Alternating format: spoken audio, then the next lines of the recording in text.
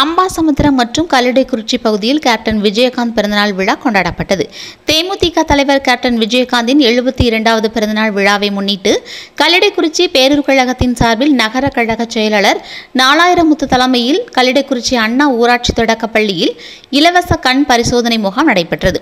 முகாமை கல்லடைக்குறிச்சி காவல்துறை உதவி ஆய்வாளர் ஆழ்வார் மற்றும் தேமுதிக மாவட்ட துணைச் செயலாளர் ஐயப்பன் ஆகியோர் துவக்கி வைத்தனர். முன்னதாக கல்லடைக்குறிச்சி பேரூராட்சி மன்றம் முன்பு தேமுதிக நிறுவனர் விஜயகாந்த் திருவுருவப்படத்திற்கு மாலை அணிவித்து மரியாதை செய்யப்பட்டது. பின்னர் கல்லடைக்குறிச்சி பேரூராட்சி மன்ற பேருந்து நிறுத்தம் அருகில் பொதுமக்களுக்கு இனிப்பு வழங்கப்பட்டது.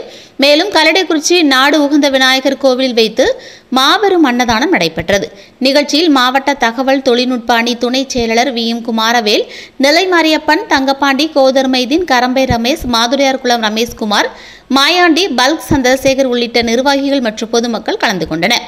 தொடர்ந்து மும்பை நகர செயலாளர் எம் வி விஜய் ஏற்பாட்டின் பேரில் அம்பை நகர தேமுதிக சார்பில் பூக்கடை அருகில் மாபெரும் அன்னதானம் நடைபெற்றது. இந்த நிகழ்ச்சியில் அம்பை நகர பொருளாளர் மணிகண்டன் நாராயணன் முத்துராமன் மற்றும் விக்ரமசிங்கபுரம் நகர செயலாளர் இசைக்கிராஜன் விக்ரமசிங்கபுரம் இளைஞரணி பாலா ஆகியோர் கலந்து கொண்டனர்.